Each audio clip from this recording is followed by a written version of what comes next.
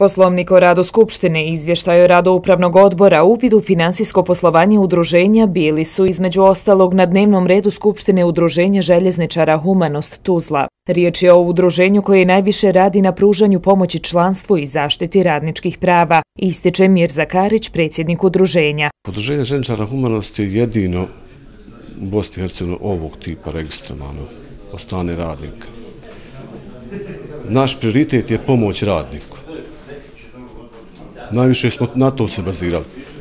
Aktivno smo uzeli učešće isto oko izrade radno-pravne zakona i sve ono što je biti zašta radnika, od socijalne pravde, e, zdravstvene zaštite i tako dalje. Znači široki obim i spektar djelovanja udruženja. Moj je cilj da im se oni osjećaju što ugodnije, kao članovi udruženja željezničara i koželjničara. Edukacija stanovništva o željeznicama je u fokusu plana rada udruženja za 2017. godinu pošto imamo dosta tragičnih događaja, da ljudi, evo moram se tako laički izraziti, poznaju šta znači Eh, Andreja križ na putnom prelazu, da se djeca u školi poznaju šta je to voz, da se znaju šta je otpravnik vozova, da se znaju jednostavno šta su zanimaju. Vi ćete tu i seminari, vi ste pozvani i vi na seminare, sem ovaj, ovog akcenta koji smo bacili znači, na osnovne i srednje škole, bit će bačen akcent i na seminare koji ćemo raditi sa stavništom. Na Skupštini udruženja željezničara Humanost Tuzla, čime je obilježena druga godišnjica od formiranja udruženja, zaključeno je da ni mlađi ni stariji ne znaju dovoljno o ovoj temi, te da je potrebno isticati značaj željeznice za privredu Bosne i Hercegovine.